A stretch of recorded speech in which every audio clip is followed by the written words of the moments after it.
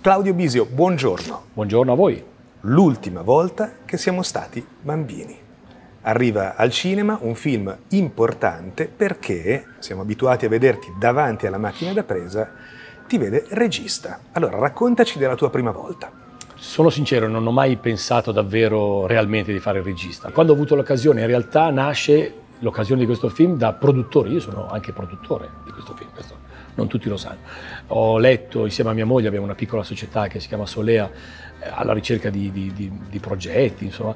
Leggemmo, in realtà l'ha letto prima lei perché le donne si sa leggono più degli uomini, quindi legge più di lei di me, mi ha fatto conoscere questo libro di Fabio Bartolomei, il titolo è uguale, l'ultima volta che siamo stati bambini, l'ho letto, mi ha fulminato e abbiamo subito preso l'opzione del libro, che dura un anno, come voi sapete. No?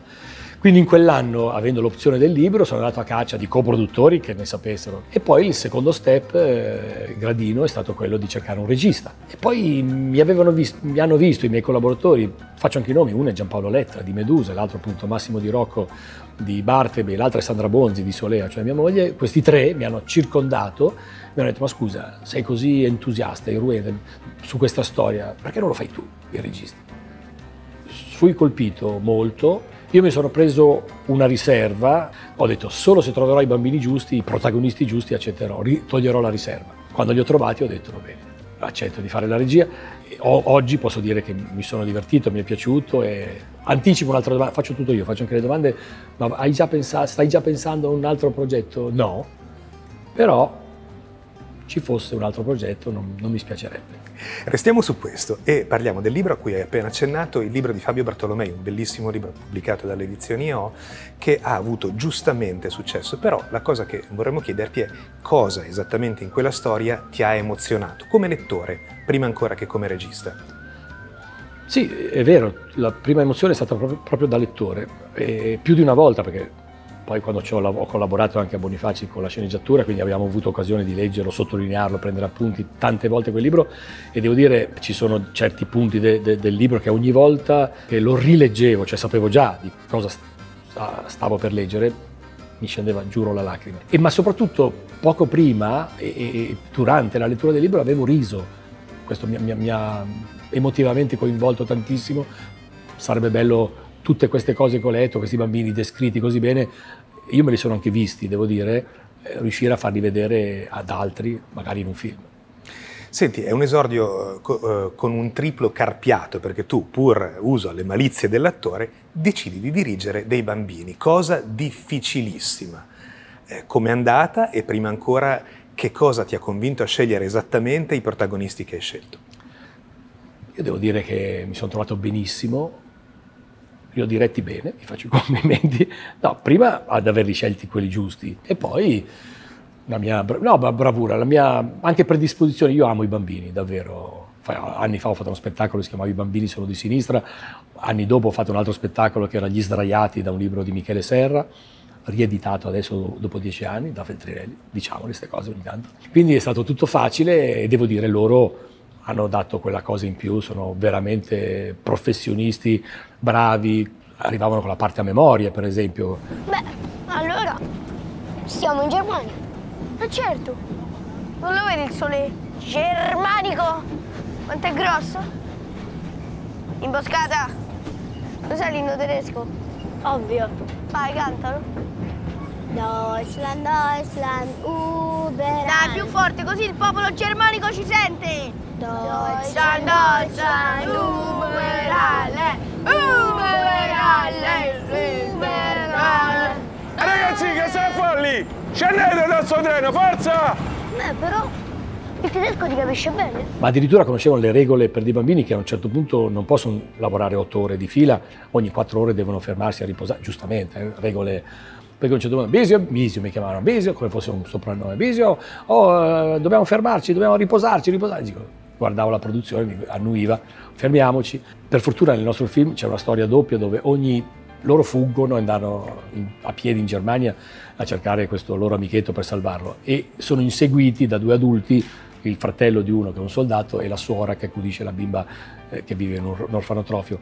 Quindi io potevo nelle stesse location, quando ero lì, facevo fermare i bambini e andavo avanti a girare con gli adulti. Seguiamo i binari, andiamo nei paraggi di una galleria. Nel caso dell'immagine che ci presenta il tuo film, oltre quel buio possiamo intuire la storia drammatica del periodo che racconti, ma anche l'adolescenza. A poca distanza seguono gli adulti, ma sembrano più adulti i bambini forse. Assolutamente vero.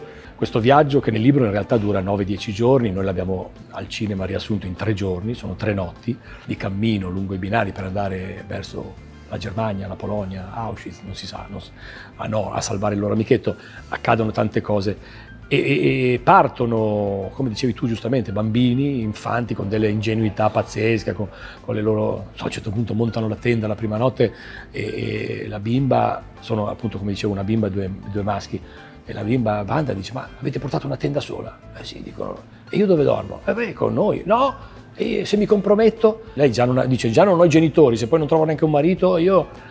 Allora uno dei due maschi dice, no, fammi pensare, secondo me la tenda non vale per compromettersi, ci vuole il letto e ci pensa, sì, hai ragione, quindi dorme in tenda con loro. Per, dir, no, per dirvi il tono che c'è, no? Hai detto giusto tu, l'abbiamo ripresa nella locandina, che è un'immagine del film, e esiste veramente simbolicamente un prima e un dopo quella galleria. Quella galleria che è piccola, sarà 200 100 metri neanche, dove prima della galleria c'è un dialogo, a mio avviso bellissimo, dove si raccontano cosa vorrebbero fare da grandi. Uno dice, cosa vorrei fare? Ah, dice, io da grande farò l'eroe, ma è un lavoro, Adesso no, ma vedrai che poi quando noi sono convinti adesso loro di andare a salvare il loro amico, quindi diventerebbero eroi. Dice, quando poi finisce la guerra vedrai che mi chiameranno per salvare tutti, ma amici, parenti, e mi pagano. Ah, e tu cosa vorresti fare? Ma io, dice l'altro, vorrei fare un lavoro dove eh, visito il mondo, vedo gente. E l'altro dice, ah, tipo il postino, eh, magari. Eh. Ecco, questo dialogo leggero, surreale, dove parlano della vita, del futuro,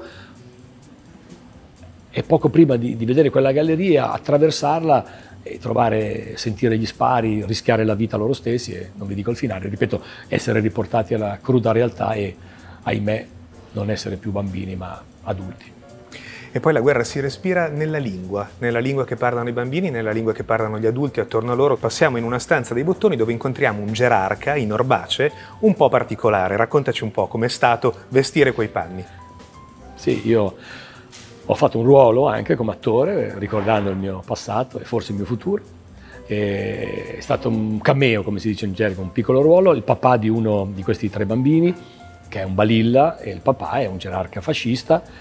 Io il profilo mussoliniano un po' ce l'ho, non è Mussolini, eh? ed è stato un divertimento. Vesso il mio figlio piccolo, quello Italo che, che va a fare questa impresa, essendo io raccontato come podestà di Varese, ma vivendo a Roma, il piccolo sarà cresciuto, immagino, a Roma, allora io lo costringo a un certo punto per dire quanto lo tratto male, gli faccio fare le flessioni perché è un po' cicciottino, perché sbaglia i verbi, cioè sono un padre padrone, un po' cattivo, molto, no un po' cattivo, molto cattivo, tra l'altro con l'uso con i nazisti, c'è anche un aspetto importante in quella scena dove c'è un gerarca nazista che racconta eh, appunto che dovranno portare via questi ebrei ed è, è, il motore di questa storia perché il bimbo dal buco della serratura ascolta questo dialogo e quando il loro amichetto ebreo scomparirà andrà a rovistare nei cassetti perché questo gerarca nazista aveva disegnato più o meno un binario che andava a nord dove insomma si intuisce dove e quindi la chiama la mappa per lui quindi è una scena piccola ma importante. Tornando alla vessazione nei confronti di mio figlio,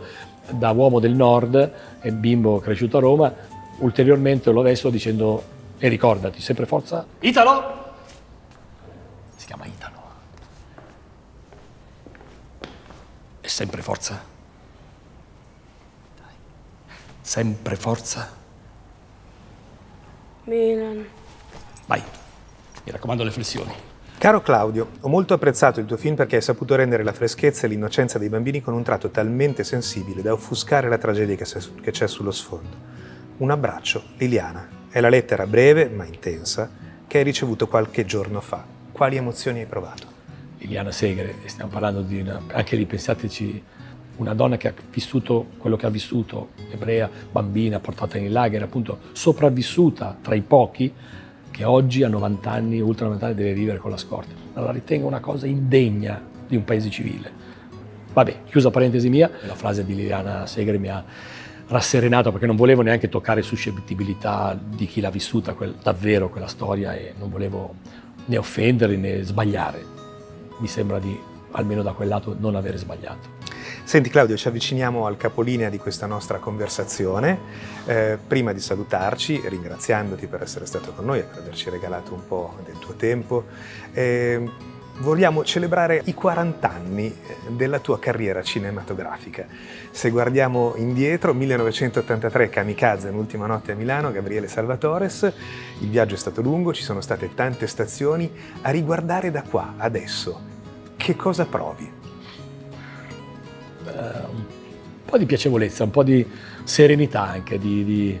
mi sento appagato di quello che ho fatto. Poi voglio dire, spero di riuscire a fare ancora qualche cosa bella, ma in 40 anni da attore ovviamente, perché regista il primo film, ma come attore ne ho fatti più di 40 film, ho lavorato con tanti registi e fammi a, volo d'uccello citare un Oscar con Mediterraneo, non a me ma al film, ma insomma piacevole. Eh, Benvenuti al Sud, dove ancora oggi, quando fanno il ventottesimo passaggio televisivo, ho visto ieri sera pensando che io sappia cosa c'è stato ieri sera, invece era magari la quindicesima replica di Benvenuti al Sud, Yam Yam ci danno delle scene del film, quindi quello è stato un film storico. Benvenuto Presidente, più questo che ho fatto da regista, mi sembra che, come ho detto prima, appagato, cioè sereno, sereno perché ho fatto delle cose belle, poi anche, anche, meno belle, ne ho fatte di tutti i tipi, ho fatto film, non sempre vengono le ciambelle col buco, riescono i film, però la sincerità da parte mia c'è sempre stata, la ricerca anche di una si direbbe un fil rouge, se andate a vedere secondo me tra il teatro, il cinema, mi viene da dire anche la televisione, tra Mai Dire Gol, eh, insomma secondo me un filo, se uno dovesse un domani, ancora non sono a fine carriera, ma un domani dovesse tirare un bilancio della mia appunto carriera, penso che un filo rouge, come si dice in gergo, un filo lo troverebbe. E meglio di così, cosa, cosa posso chiedere? Guarda i colori della sedia su cui sei seduto e completa la frase Forza Milan. Grazie Claudio Bisio. Grazie a voi. La cosa più bella della vita è la libertà.